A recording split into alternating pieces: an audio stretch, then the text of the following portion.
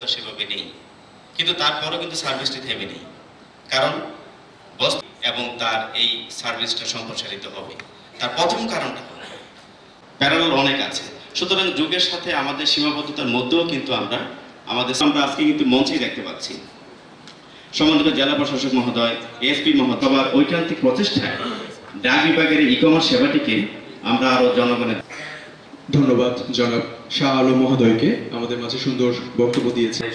সরকারের ঊর্ধ্বতন কর্মকর্তাগণ এবং সেই সাথে আমি জিয়া আশরাফ আমি চালডাল ডট কমের একজন ফাউন্ডার প্লাস আমি ই ক্যাবের একজন কারণ আমি ই ক্যাবের থেকে যেহেতু আছি সো ই ক্যাবের হওয়ার জন্য সুযোগ এসেছে। আমাদের মাননীয় প্রধানমন্ত্রী শেখ হাসিনা যাচ্ছেন।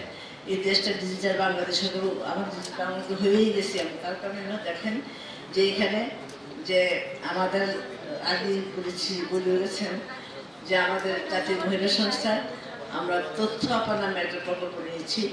যে প্রকল্পের প্রত্যেক উপজেলায় আমাদের দুজন করে, তিনজন করে তথ্য তথ্য কর্মকর্তা সহকারী আছেন।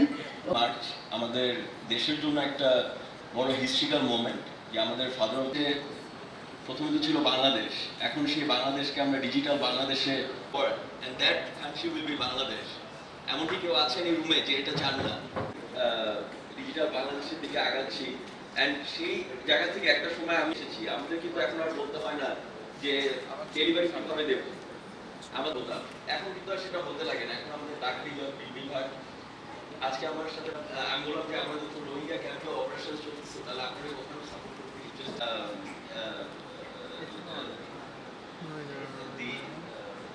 আমাদের একটা নিজেদের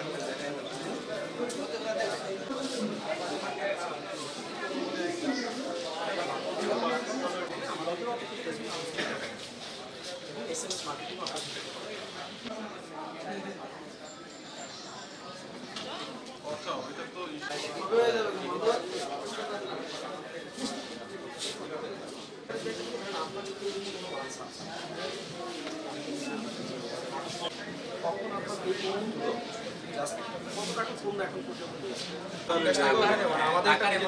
আছে।